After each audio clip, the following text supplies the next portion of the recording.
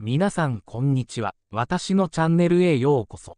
ナリーグ地区シリーズドジャースパドレス第5戦11日、日本時間12日、ドジャースタジアム。写真、投球を終え、ガッツポーズを見せるドジャース山本。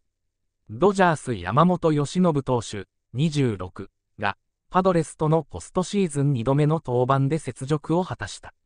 山本は課題の立ち上がりを三者凡退で切り抜けると、以降も安定した投球を披露。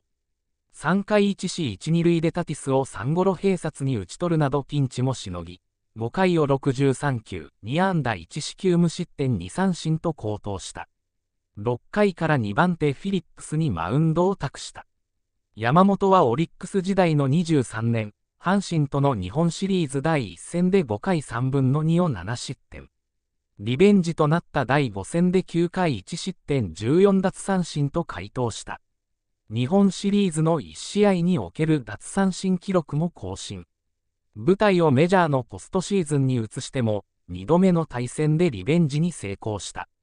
SNS 上では、信じてたぞ、日本シリーズの再現など、高騰を称える声が相次いだ。